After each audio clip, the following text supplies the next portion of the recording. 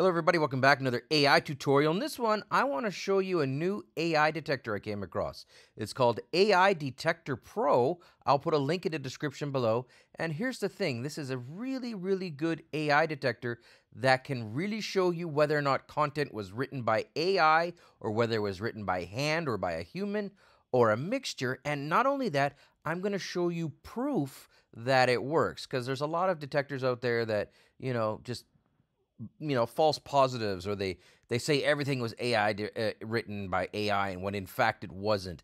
There's lots of really iffy uh, detectors out there, but this one at least so far has shown itself to be very good. So let me show you what I'm talking about here. So if you go to aidetector.pro, you'll log in and you'll see something like this. You'll see dashboard, reports and projects. Now, I've got one AI generated piece of text, this one here, and then I've got two human written pieces of text or, or articles, I guess would be a better way to put it. And I'm going to show you what's going on here. So here we go. The first thing I'm going to do is I'm going to go to projects and I'm going to create a new project. So I just want to show you how this works. So let's just go ahead and click on default project here and then presto, we've got a default project. Now I'm going to go to ChatGPT and I've already done this, but I told ChatGPT to write a 300 word essay on Macbeth. Now this writing here is by default or by definition AI written. So what I did is I just asked it for some AI written content and then I just command C and control C on a PC. So I copied it and then I'm just going to go right back into the detector here and I'm going to paste it in. And when I do that, the next step here is I can ask it to analyze. And while it analyzes, do keep in mind that you can also ask it to detect from a website or from a URL. But that's not the point here. So this one here, I did it one second ago, and it came back with a 98% probability of AI written. And that's really, really good because, well, it's AI written. So let's click on it and dig in. So when I click on the link here, look at this. This is where it gets really, really interesting. You'll see here that it's not only said it was AI, you know, generated, it gives you notes. It's kind of like that grammar teacher or your spelling teacher that uh, fixes your paper and tells you what you can suggest and do better. We'll look at that here. Look, it says this paragraph exhibits clear signs of being written by AI. You know what? It, it has it in bright red and in and uh, yellow orange. I guess that would be um, uh, showing parts that really could use a little bit of fixing. If we go down a little further, you'll see some stats here. Now I'm gonna have to zoom in a bit because it's a little bit. Uh, uh, I guess it's just a little uh, odd for me because for me, I don't know how all of this works. So I'm just being blunt. It's ana- analyzing it, part of me, to see if the writing sounds like another human being, and it bases it on, uh, from what I can remember here, it bases on what it sounds like a human would sound like. How the heck it does that, I don't know, but it does it.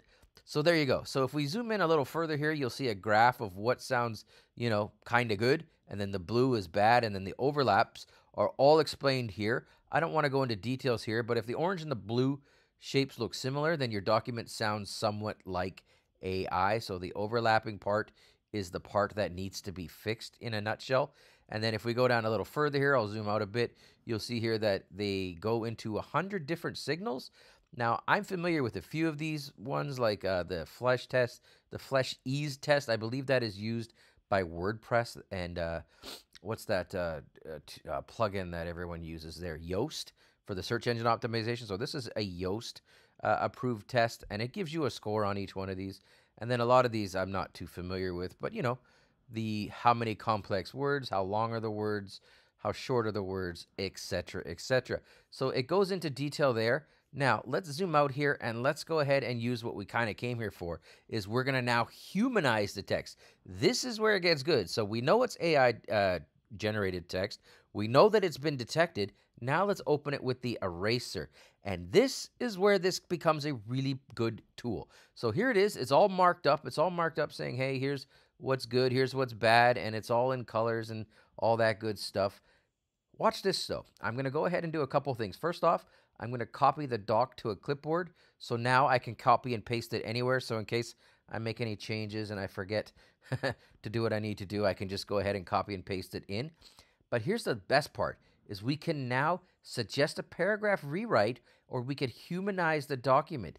Now, humanizing the doc- document means it's going to rewrite the paragraphs all at once to reduce the AI score. So this is the one we want in this case. So I'm going to go ahead and click on that.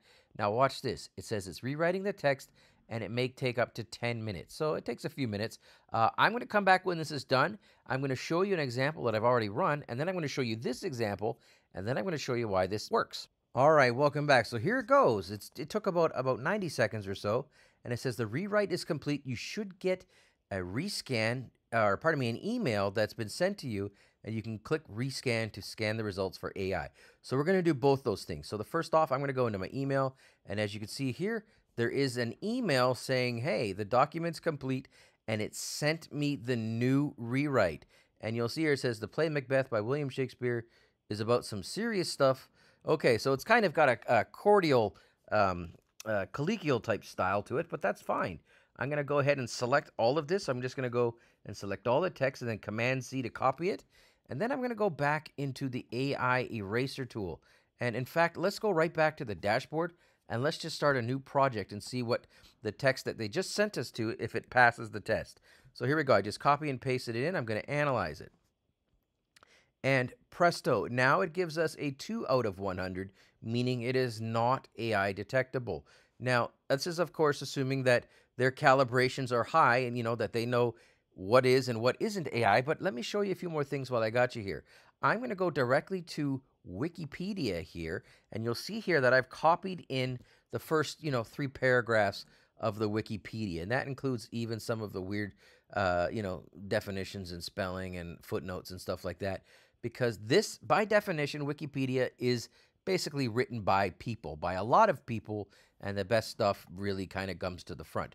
So I'm going to copy and paste in from Wikipedia, and then in theory, this should not be found as AI. So I'm going to go ahead and analyze it. Now watch this. Well, it's already done. Wow, that was pretty quick. You'll see here that Macbeth, if I click on this, this content was likely written by a human. And this is a direct copy paste from Wikipedia. So, I mean, assuming that this is correct, guys, and, and it looks pretty good, it can detect between human written and AI detect or AI written. Now, why is this really important? I'll wrap it up here. Simple, because nobody wants to. If you're uh, writing a blog and you want to get search engine optimization, you don't want to have pure AI content, and you don't want to have pure handwritten content. Think about what a graphic designer is doing these days. The best graphic designers use, you know, pre-built templates. They use, you know, pre-built like Canva, and then they customize it to their to what they want. So they start off really, really quickly and they get a whole bunch of ideas, and it's no point drawing every, single every single one of these things out by hand. Use a tool like this, get some pre written content, get some AI generated content, make sure that it passes the human sniff test. Use this tool, it works. Thanks for watching.